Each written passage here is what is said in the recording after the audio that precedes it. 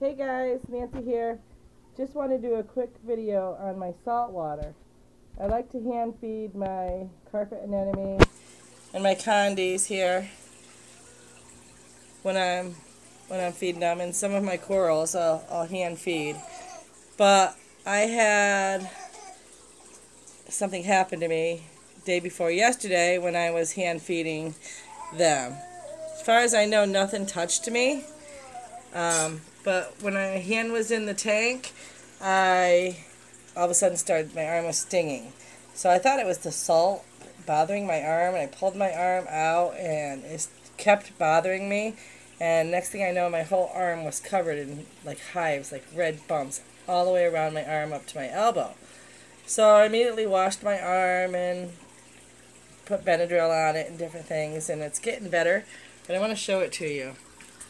Um, I'm down to just one spot, but I don't think anything stung me. I mean, I don't think I, I don't know if you can see it. I don't think, I'll try to get a better shot of it, but I don't think any, I touched anything.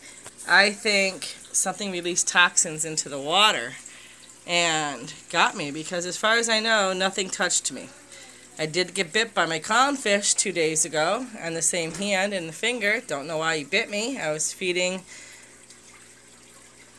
actually fixing one of my new coral frags, placing it, and he bit a hold of my finger. I think he thought I was trying to feed him. But don't think that's why I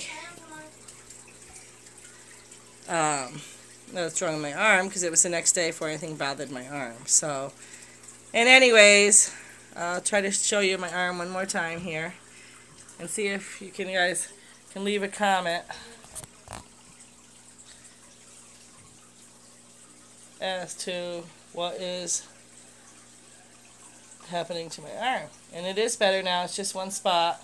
The red spots I had before turned into these just little red things. I don't know if you can see them very well, but now it's just mostly this one red spot here.